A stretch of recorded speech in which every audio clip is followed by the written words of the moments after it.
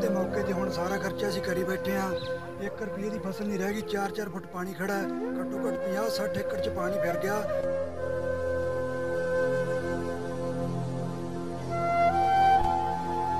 ਦੁਪਰ ਤੋਂ ਨੂਟ ਢਾਲ ਨਹਿਰ, ਜੋ ਕਿ 2 ਤੋਂ 4 ਮਹੀਨਿਆਂ ਬਾਅਦ ਟੁੱਟ ਜਾਂਦੀ ਹੈ।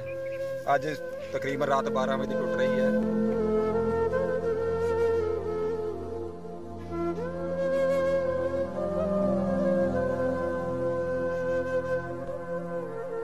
ਸਾਡੀ ਫਸਲ ਕ- ਲਗਭਗ 40 ਤੋਂ 45 ਏਕੜ 3 ਤੋਂ ਲੈ ਕੇ 4 ਫੁੱਟ ਪਾਣੀ ਵਿੱਚ ਡੁੱਬੀ ਪਈ ਹੈ। ਇਹ ਨਹਿਰ ਵੱਲ ਪ੍ਰਸ਼ਾਸਨ ਕੋਈ ਧਿਆਨ ਨਹੀਂ ਦੇ ਰਿਹਾ। ਜਦੋਂ ਕਿ ਨਵੀਂ ਬੰਨੀ ਚਾਹੀਦੀ ਹੈ, ਬਹੁਤ ਬੁਰਾ ਹਾਲ ਹੈ।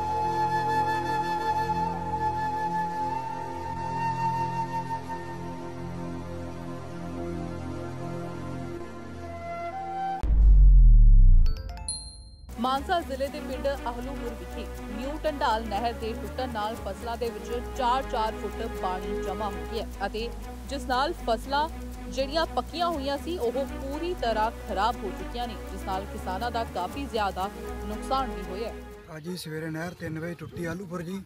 ਸਾਡਾ ਬਹੁਤ ਜ਼ਿਆਦਾ ਨੁਕਸਾਨ ਹੋ ਗਿਆ। ਸਵੇਰ ਦੀ ਨਹਿਰ ਟੁੱਟੀ ਹੈ, ਕੋਈ ਵੀ ਅਧਿਕਾਰੀ ਅਜੇ ਤੱਕ ਪਹੁੰਚਿਆ ਨਹੀਂ ਗਾ ਸਾਡੀ ਪੱਕੀ ਫਸਲ ਵੱਢਣ ਦੇ ਮੌਕੇ ਤੇ ਹੁਣ ਸਾਰਾ ਖਰਚਾ ਅਸੀਂ ਕਰੀ ਬੈਠੇ ਆ 1 ਰੁਪਏ ਦੀ ਫਸਲ ਨਹੀਂ ਰਹਿ ਗਈ 4-4 ਫੁੱਟ ਪਾਣੀ ਖੜਾ ਹੈ। ਘੱਟੋ ਘੱਟ 50-60 ਏਕੜ 'ਚ ਪਾਣੀ ਫਿਰ ਗਿਆ। ਨਹਿਰੀ ਵਿਭਾਗ ਦੀ ਏਡੀ ਵੱਡੀ ਨਲਾਇਕੀ ਹੈ। ਅਜੇ ਤੱਕ ਜਈ ਸਾਹਿਬ ਨੂੰ ਫੋਨ ਕਰਿਆ, ਉਹ ਵੀ ਨਹੀਂ ਆਏ। ਕੋਈ ਮਹਿਕਮਾ ਨਹੀਂ ਆਇਆ, ਅਸੀਂ ਆਪ ਬੰਦ ਕਰੀਏ। ਗੱਟੇ ਲਾ ਕੇ ਹੁਣ ਸਾਡਾ ਲੱਖਾਂ ਦਾ ਨੁਕਸਾਨ ਹੋ ਗਿਆ ਜੀ। ਪੱਕੀ ਫਸਲ ਸੀਗੀ, ਹੁਣ ਜ਼ਿਮੀਂਦਾਰ ਕਿੱਥੇ ਜਾਵੇ? ਹਰ ਵਾਰ ਇੱਥੇ ਨਹਿਰ ਟੁੱਟਦੀ ਏ। 8 ਦਿਨ ਪਹਿਲਾਂ ਨਹਿਰ ਟੁੱਟੀ ਸੀਗੀ। ਜਈ ਸਾਹਿਬ ਨੂੰ ਫੋਨ ਕਰਿਆ। ਉਹ ਥੋੜੇ ਜਿਹੇ ਕੱਟੇ ਲਾ ਗਏ, ਮਾੜਾ ਟੈਂਪਰੇਰੀ ਜਿਹਾ ਕੰਮ ਕਰ ਗਏ। ਅੱਜ ਰਾਤ ਫਿਰ 3 ਵਜੇ ਟੁੱਟ ਗਈ, ਜਿਹਦੇ ਨਾਲ ਸਾਡਾ ਬਹੁਤ ਵੱਡਾ ਨੁਕਸਾਨ ਹੋ ਗਿਆ ਜੀ।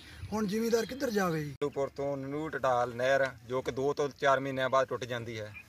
ਅੱਜ ਤਕਰੀਬਨ ਰਾਤ 12 ਵਜੇ ਦੀ ਟੁੱਟ ਰਹੀ ਹੈ ਤੇ ਸਾਡੀ ਫਸਲ ਕ- ਲਗਭਗ 40 ਤੋਂ 45 ਏਕੜ 3 ਤੋਂ ਲੈ ਕੇ 4 ਫੁੱਟ ਪਾਣੀ ਵਿੱਚ ਡੁੱਬੀ ਪਈ ਹੈ।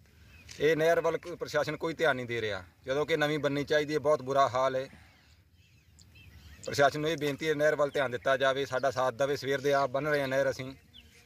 ਤੇ ਬਹੁਤ ਔਖਾ ਹੋਇਆ ਪਿਆ ਫਸਲ ਦਾ ਜੀ। ਕਿੰਨੀ ਫਸਲ ਦਾ ਨੁਕਸਾਨ ਹੈ ਜੀ? 35 ਤੋਂ 40 45 45 ਏਕੜ 'ਚ 3 ਫੁੱਟ ਪਾਣੀ ਖੜਾ 3 ਤੋਂ 4 ਫੁੱਟ। ਹੁਣ ਤੁਸੀਂ ਕੀ ਮੰਗ ਕਰਨਾ ਚਾਹੁੰਦੇ ਹੋ? ਮੰਗ ਤਾਂ ਹੀ ਕਰ ਰਹੇ ਆ ਜੇ ਨਹਿਰ ਵੱਲ ਧਿਆਨ ਦਿੱਤਾ ਜਾਵੇ 3 ਤੋਂ 4 5 ਮਹੀਨਿਆਂ ਵਿੱਚ ਟੁੱਟ ਜਾਂਦੀ ਜੀ ਇਹ। ਤੇ ਬਹੁਤ ਔਖਾ ਜੀ। ਨਹਿਰ ਨਹਿਰ ਨਵੀਂ ਬੰਨੀ ਚਾਹੀਦੀ ਅਸੀਂ ਤਾਂ ਇਹ ਮੰਗ ਕਰਦੇ ਆ ਮਗਰੋਂ ਬਣ ਗਈ ਪਾਣੀ ਸਾਰਾ ਅੱਗੇ ਆਉਂਦਾ ਤੇ ਨਹਿਰ ਬਹੁਤ ਮਾੜੀ ਹੈ ਇਥੋਂ। ਨਾ ਕੱਚੇ ਨੱਕੇ ਨੇ ਨੱਕੇ ਖੋਰੀ ਕੱਟਣ ਨਾਲ ਬੰਨ ਜਾਂਦੇ ਆ ਉਹ ਫਿਰ ਖੋ- ਟੁੱਟ ਜਾਂਦੇ ਆ ਜੀ। ਬਹੁਤ ਔਖਾ ਹੈ।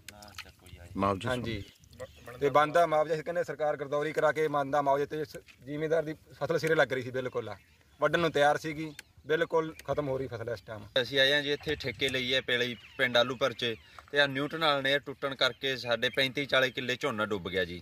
ਤੇ 3-3 ਫੁੱਟ ਪਾਣੀ ਖੜਾ ਹੈ ਵਿੱਚ, ਨਾ ਕੋਈ ਅਧਿਕਾਰੀ ਆਉਂਦਾ। ਇੱਥੇ ਸਵੇਰ ਦੇ 3 ਵਜੇ ਦੇ ਫੋਨ ਕਰਨ ਲੱਗ ਰਹੇ ਆ 65000 ਨੂੰ ਠੇਕੇ ਲੈ ਕੇ ਅਸੀਂ ਕੀ ਕੱਢਾਂ ਫਸਲਾਂ ਸਾਡੀਆਂ ਆਈਆਂ ਹੋਈਆਂ। ਕੱਲ ਨੂੰ ਵੱਢਣ ਦਾ ਸੀਗਾ। ਤੇ ਹੁਣ ਦੇਖੋ ਸਾਰੇ ਨਾ ਕੋਈ ਆ ਰਹੇ, ਨਾ ਕੋਈ ਫੋਨ ਚੱਕਦਾ। ਅਸੀਂ ਘੱਟੋ ਘੱਟ 4-5 ਘੰਟੇ ਹੋ ਗਏ ਸੀ। ਅਸੀਂ ਪੱਲਿਓਂ ਦਿਹਾੜੀ ਲਾ ਕੇ ਨੇਰ ਦਾ ਇੰਤਜ਼ਾਮ ਕਰ ਰਹੇ ਹਾਂ। ਨਾ ਮਗਰੋਂ ਪਾਣੀ ਘਟਾ ਰਹੇ, ਨਾ ਫੋਨ ਚੱਕਦੇ, ਨਾ ਆ ਰਹੇ। ਹੁਣ ਇਹਦਾ ਜਾਂ ਤਾਂ ਸਰਕਾਰ ਮੁਆਵਜ਼ਾ ਦੇਵੇ ਜਾਂ ਨਹਿਰੀ ਵਿਭਾਗ ਦੇਵੇ ਇਹਦਾ ਕੋਈ ਨਾ ਕੋਈ ਹੱਲ ਕਰੋ ਜੀ। ਸਾਡਾ ਜਨਤਾ ਬਾਹਲਾ ਔਖਾ ਹਾਲ ਇੱਥੇ ਦਾ ਜ਼ਮੀਂਦਾਰਾਂ ਦਾ। ਤੇ ਨਹਿਰ ਵੀ ਨਵੀਂ ਬਣਨੀ ਚਾਹੀਦੀ। ਆਏ ਸਾਲ 2 ਸਾਲ 2 ਮਹੀਨੇ 1 ਮਹੀਨੇ ਦੇ ਬਾਅਦ ਇਹ ਟੁੱਟਦੀ ਰਹਿੰਦੀ ਹੈ। ਹੁਣ ਨਾ ਤਾਂ ਕੋਈ ਆਉਂਦਾ ਨਾ ਕੋਈ ਜਾਉਂਦਾ ਇਹਦਾ ਕਰੋ ਜੀ ਕੋਈ ਇੰਤਜ਼ਾਮ ਜੇ ਹੁੰਦਾ ਇਹਦਾ। ਇਸ ਮੌਕੇ ਕਿਸਾਨਾਂ ਨੇ ਵਿਭਾਗ ਤੋਂ ਨਹਿਰ ਦੀ ਮੁਰੰਮਤ ਕਰਨ ਦੀ ਮੰਗ ਕੀਤੀ ਹੈ ਅਤੇ ਇਹ ਇਲਜ਼ਾਮ ਲਗਾਏ ਨੇ ਕਿ ਮਹੀਨੇ ਦੇ ਵਿੱਚ 4-5 ਵਾਰ ਇਹ ਨਹਿਰ ਟੁੱਟਦੀ ਹੈ ਪਰ ਪ੍ਰਸ਼ਾਸਨ ਦੇ ਵੱਲੋਂ ਕੋਈ ਵੀ ਐਕਸ਼ਨ ਨਹੀਂ ਲਿਆ ਜਾ ਰਿਹਾ। ਨਾਲ ਹੀ ਉਹਨਾਂ ਨੇ ਸਰਕਾਰ ਤੋਂ ਨਵੀਂ ਨਹਿਰ ਬਣਾਉਣ ਦੀ ਵੀ ਮੰਗ ਕੀਤੀ ਹੈ। D5 ਚੈਨਲ ਪੰਜਾਬੀ ਲਈ ਮਾਨਸਾ ਤੋਂ ਸੰਜੀਵ ਲੱਕੀ ਦੀ ਰਿਪੋਰਟ ਕੀ ਹੁੰਦੀ ਹੈ ਜਮਾਬੰਦੀ?